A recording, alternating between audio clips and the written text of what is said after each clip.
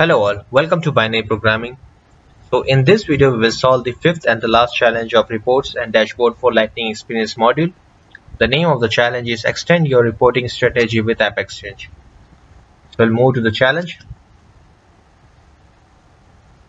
So here we need to go to AppExchange and install an install a package and we need to make some modification into the dashboard which is there in this package. So we'll go to the playground first. And there are multiple ways to visit AppExchange one of the ways is to click on app launcher and click view all. Here there is a button called visit AppExchange so on clicking of this button we will be able to access the AppExchange here we need to search the package by the ID which they have provided us we'll copy it from here and we'll search for this package ID in the app exchange.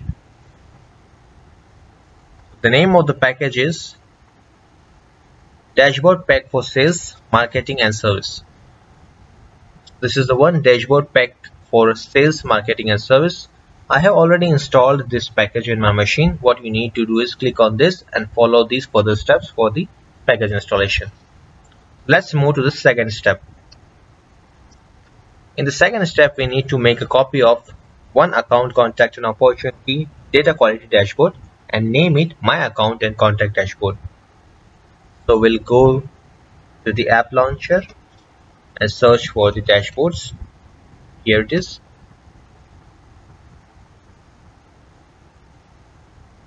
in the dashboards we will go to the all dashboard and we need to search for one account contact and opportunity data quality dashboard.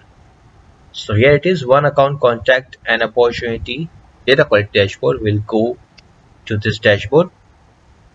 And the next step we need to make a copy of this dashboard. So with edit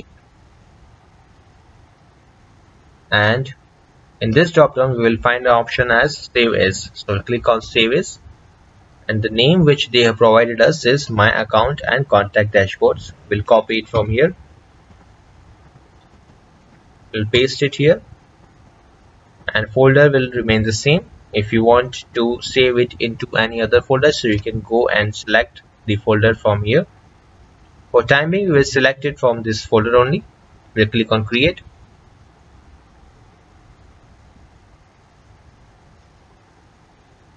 this is the new dashboard for us my account and contact dashboard.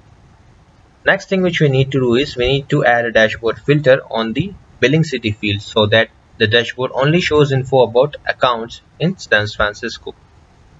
So we'll click on edit again and at this time we'll click on filter.